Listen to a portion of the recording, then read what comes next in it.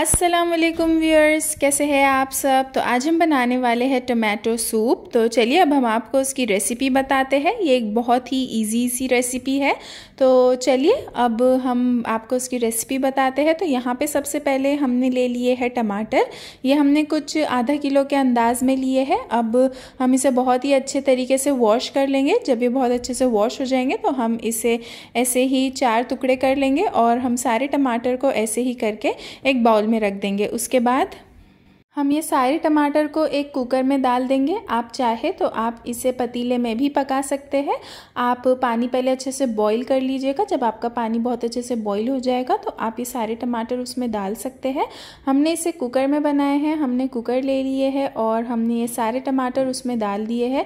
उसके बाद हमने इसके अंदर लहसुन डाले हैं और हमने इसमें दो कप पानी डाले हैं। पानी आप आपके हिसाब से डालिएगा और बस हमने ये सारी चीज़ों को मिला के हमने इसकी अच्छे से विसल ले लिए है। आप इसे पतीले में भी पका सकते हैं। जब आप इसे पतीले में बना रहे हैं तो आप सबसे पहले जो है वो पानी बॉईल कर लीजिएगा। उसके बाद आप उसमें टमाटर डालिएगा। हम यहाँ पे कुकर में ही बना रहे तो हमने इसमें ही सारी चीज़ें डाल दिए थे, टमाटर, लहसुन और पानी। बस यहाँ पे जो हमारे टमाटर है, वो एक विसल में ही बहुत अच्छे से सॉफ्ट हो चुके थे। तो हमने उसे ठंडा होने के लिए रख दिए थे, जब हमारे टमाटर बहुत अच्छे से ठंडे हो चुके थे। तो हमने उसका जो छिलका है, वो बहुत ही अच्छे से निकाल लिए थे। तो आप भी अगर छिलका निकाल रहे हैं तो आप भी टमाटर को जो है, वो थोड़ा ठंडा होने के लिए रख दीजिएगा। यहाँ पर आप देख सकते हैं, जो कुकर में हमारा पानी बच गया था और जो लहसन था, वो भी हमने इसमें डाल दिए है।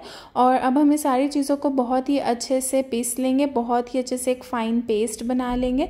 तो यहाँ पर आप देख सकते हैं, जो हमारे टमाटर है, हमने उसका बहुत ही अच्छे से एक फ़ाइन पेस्ट बना लिए है। अब हम इसके ऊपर एक स्ट्रेनर रख लेंगे और जो हमने पीसे थे ना फाइन पेस्ट बनाए थे, अब हम इसमें वो भी डाल देंगे और हमको जो पूरा जो हमारा पेस्ट है, हमें उसे बहुत ही अच्छे से स्ट्रेन करना है ताकि कुछ भी मोटा मोटा जो है और जो थोड़े से छिलके आ जाते हैं टमाटर के तो वो सब इसमें कुछ भी नहीं रहना चाहिए। तो आप भी जब इसे बहुत ही अच्छे से ग्राइंड कर ले तो आप उसके बाद इसे स्ट्रेनर में बहुत ही अच्छे से स्ट्रेन कर लीजिएगा। बस यहाँ पे जब हमारे स्ट्रेनर में जो हमारे टमाटर का पेस्ट है, वो बहुत अच्छे से स्ट्रेन हो जाएगा तो उसके बाद अब हम आपको आगे की रेसिपी बताते हैं।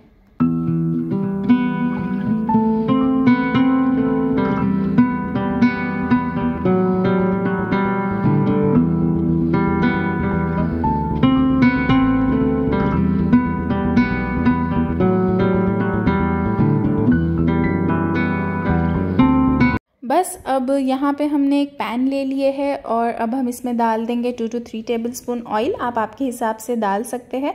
यहाँ पे हमने थ्री टेबल स्पून ऑयल डाले हैं, जब हमारा जो ऑयल है वो बहुत अच्छे से गर्म हो चुका था तो अब हमने इसमें ज़ीरा डाल दिए है one and half tablespoon ज़ीरा को आप थोड़ा सा फ्लेवर आने दीजिएगा। जब ज़ीरा का थोड़ा सा फ्लेवर आ जाएगा तो अब हमने जो टमाटर को बहुत ही अच्छे से स्ट्रेन किए थे तो अब हम इसमें वही पानी डाल देंगे और यहाँ पे अब जब तक जो हमारा हमारा सूप है, उसको बहुत ही अच्छे से बॉईल नहीं आ जाता तो हम उसको पकाएँगे। लेकिन उससे पहले हम इसमें थोड़े मसाले डालेंगे, यानी कि रेड चिली पाउडर तो यहाँ पे हमने one tablespoon red chilli powder डाले हैं। अगर आप स्पाइसी खाते हैं तो आप ज़्यादा डाल सकते हैं। और यहाँ पे हमने हाफ़ टेबल स्पून सॉल्ट डाले हैं। अगेन सॉल्ट भी आप आपके टेस्ट के हिसाब से डाल सकते हैं। बस अब हम इस सारी चीज़ों को बहुत ही अच्छे से मिक्स कर लेंगे और जब तक इसको बहुत ही अच्छे से बॉईल नहीं आ जाता, हम इसे पकाएँगे।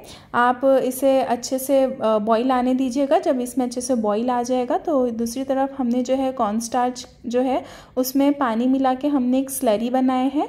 और बस अब हम इसमें वो भी डाल देंगे। इससे क्या होगा, जो आपके सूप की कंसिस्टेंसी है ना, वो थिक हो जाएगी। तो आप भी थोड़ा सा ही डालिएगा, ज़्यादा नहीं डालिएगा।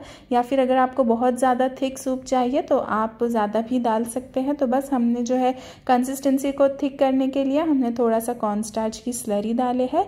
बस यहाँ पे जो है हमारा जो सूप है वो रेडी है तो बस अब हम इसे कोतमीर से बहुत ही अच्छे से गार्निश कर लेंगे। अगर आपको सूप थोड़ा और खट्टा चाहिए तो आप इसमें नींबू का रस भी डाल सकते हैं, लेकिन टमाटर वैसे ही खट्टे होते हैं तो ये जो सूप है वो खट्टा, तेज़, बहुत ज़्यादा अच्छा लगता है। तो बस यहाँ पे जो है हमारा टमाटो सूप रेडी है।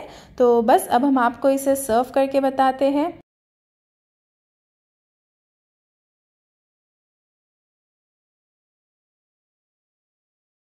ये सूप बहुत ही टेस्टी बनता है। आप भी एक बार ज़रूर ट्राई करिएगा और हमें कमेंट सेक्शन में ज़रूर बताइएगा कि आपको ये रेसिपी कैसी लगी थी।